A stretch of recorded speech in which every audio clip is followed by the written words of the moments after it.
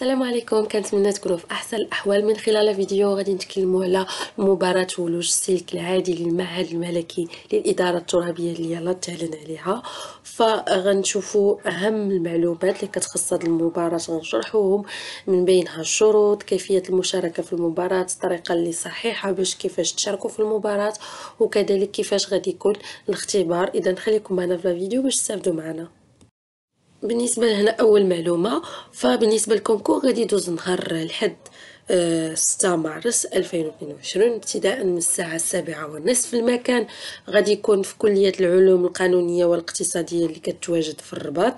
وممكن إلى إلى اضطروا أنهم يديروا بعض المراكز أخرى اللي غادي تدوزوا فيها ال concours. بالنسبة لهاد المراكز المعلومات ديالهم غادي إن شاء الله يعلنوا لهم فاش غادي يكونوا عندكم يوصلكم les convocations فغادي تعرفوا أكثر فين غادي تدوزوا. بالنسبة للشروط ديال المشاركة كاينة مجموعة من الشروط أول شرط اللي هو ما خاصش يتعدى السن ديالك 35 سنة يعني ما تكونش فايت 35 سنة على الأكثر. كذلك بالنسبة لهذا الدبلوم اللي مطلوب فهنايا أي دبلوم اللي كيخولك أنك تخدم في الدرجة ديال السلم 10 في الوظيفة العمومية اللي هو كنعرفوه هو الإجازة. إذا الإجازة هي اللي كتخدم بها في السلم رقم 10 نشوفوا كذلك الشروط. بالنسبة اللي هما موظفين موظفين فاتهم السن نفس الشيء ما يتجاوزوا 35 سنة ويكونوا آه، في السلم عشرة. وخاص ضروري يكون عندهم ترخيص باش يدوزوا آه، من الإدارة ديالهم باش يدوزوا المباراة. بالنسبة للبالغين خاص يكون الطول بالنسبة للاناث مترو ستين والذكور مترو سبعين على الأقل وتكونوا مستوفرين آه، الشروط ديال القدرة البدنية اللي كتطلبها اللي كتطلبها المهنة. بالنسبة لكيفية الترشيح هنايا خاص المترشحين خاصكم تعمروا ال formulaire اللي كاينة في هذا الموقع ديال concours.intérieur.gouv.ma اللي غادي تبدا التسجيل ديالو باقا ماشي دابا حتى ل 25 يناير وآخر آجل غادي يكون هو le 2 فيفري على الساعة الثانية عشر زوالا من يوم الأربعاء. بالنسبة لحاجة أخرى هنايا اللي خصكم تردوا لها البال فاش كتسجلوا في الموقع فهنايا في ال formulaire une fois كتفاليديو يعني كتصادقوا ديروا المصادقة النهائية على المعلومات فراه ما يمكنش ليك آه، تبدل المعلومات إلا وقع فيهم شي خطأ. يعني ما كتفاليدي خاصك حتى تكون متأكد من جميع المعلومات راها صحيحة باش هكا باش ما كيتلغاش الترشيح ديالك. من بعد فاش كتسجلوا في الموقع كتجي المرحلة الموالية ديال الانتقاء اللي كتكون فيها كياخذوا فيها مجموعة من المعايير على حسب الشواهد المحصل عليها. يعني قد ما كانت عندك شواهد يعني واش عندك ماستر عندك دكتوراه عندك المهم هما دايرين آه licence كتقدر تدفع بها ال concours وأي شهادة راه كدعم لك الملف ديالك. كذلك بالنسبة للتجربة واش عندك تجربة المهنية السن كذلك إلى آخره. donc كتتم الدعوه ديال المترشحين اللي هما أه تقبلوا في الانتقاء الأولي وتسجلوا في ال site حسب الترتيب. آه إذا من بعد قلنا الاستدعاء فكيطلبوا منكم أنكم توضعوا الملف ديال الترشيح يعني حتى كدوزوا في الانتقاء عاد باش كتوضعوا آه الملف ديالكم بصفة شخصية كتمشيو نتوما. قصد دراسة هذاك الملف آه في الأجل المحدد اللي هنايا من يوم 14 ل 2 14 فبراير إلى غاية السبت 19 فبراير هنا كآخر أجل باش كتحطوا الدواسة ديالكم. فين غادي تديهم بالضبط؟ ها هو العنوان في وزارة الداخلية اللي كاينة في الرباط. اذا هذا هو العنوان ديالها كتمشيو نتوما بصفة شخصية ملي كدوزو في المرحلة ديال الانتقاء وكتوضعوا ال dossier ديالكم اللي فيه الوثائق اللي غادي نشوفوهم من بعد كاينين في الإعلان.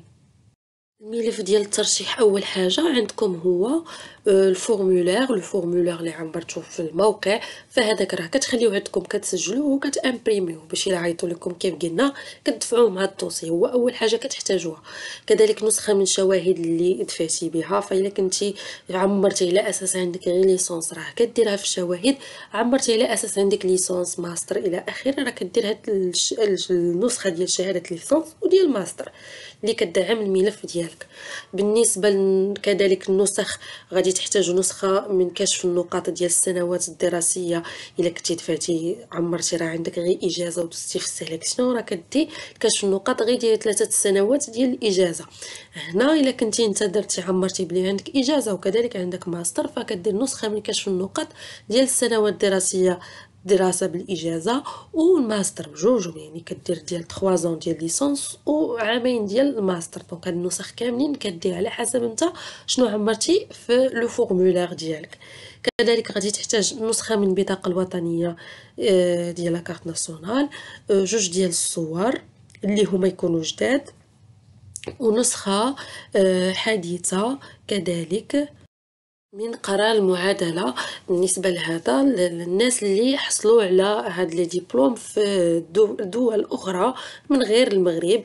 آه، donc كتحتاجوا هاد القرار ديال المعادلة. إلا كنتي قريتي هنايا في المغرب عادي وفي مدرسة اللي هي ديال أو كلية عفوا ديال الدولة فما كتحتاج هاد القرار ديال المعادلة. هاد الأخرى غير الناس اللي حصلوا على هاد الشواهد آه، العليا اللي هي أجنبية.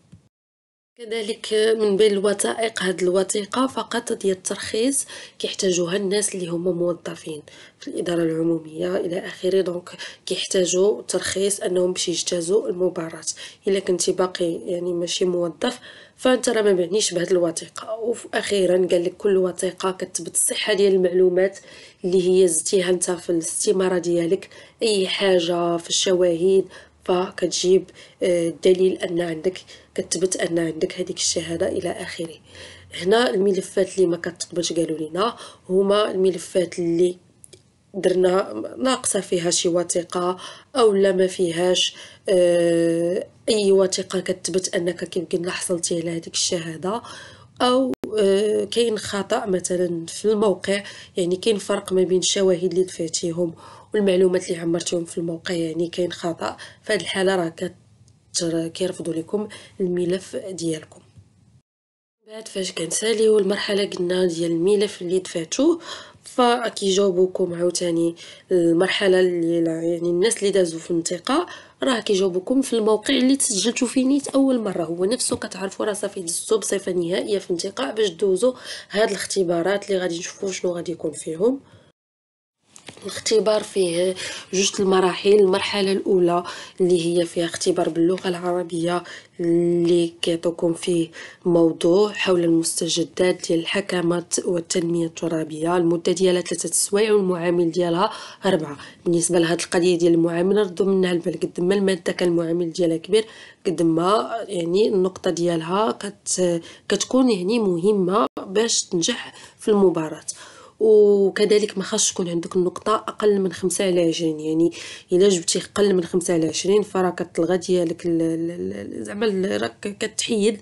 علاش؟ واخا أنك تجيب في المواد الأخرى مثلا نقط عالية بزاف اون فوا كتجيب أقل من خمسة فشي مادة فراه كتلغى. اختبار باللغة الأجنبية اللي هو فيه تحرير موضوع حول المستجدات القانونية أو السياسية والاقتصادية الاجتماعية أو البيئية.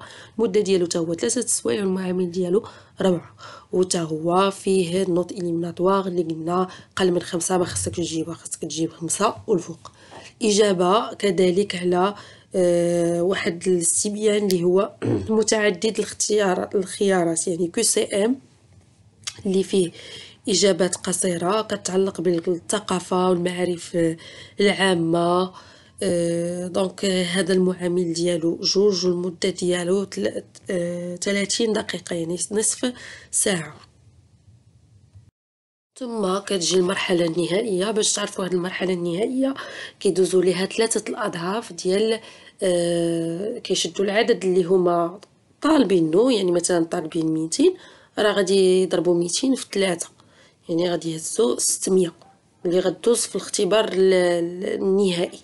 هادو كيدوزو باش في الآخر كتبقى 200 هادو غيدوزو البسيكو والمعامل ديالو خمسة. وكذلك اختبار شفوي اللي هو الاخراني كيكون المعامل ديالو عشرة. وكتعتبر نقطة إقصائية. وحتى هي كل نقطة كتقل عن 8 على 20 بالنسبة للشفوي اللي جاب قل من 8 على 20 فهذا ناقصة بصفة نهائية. بغض النظر على شحال جاب في الكتاب يعني واخا يكون عنده الكتاب طالع donc غتردو البال من الشفوي. الفيديو ديالنا كيسالي هنا كنتمنى تكونوا استفدتوا منه. آه ما تنساوش إلا استفدتوا تخليو ليا like أي سؤال عندكم خليوه ليا في commentaire باش نقدر نجاوبكم عليه. وبالتوفيق للجميع وإلى اللقاء.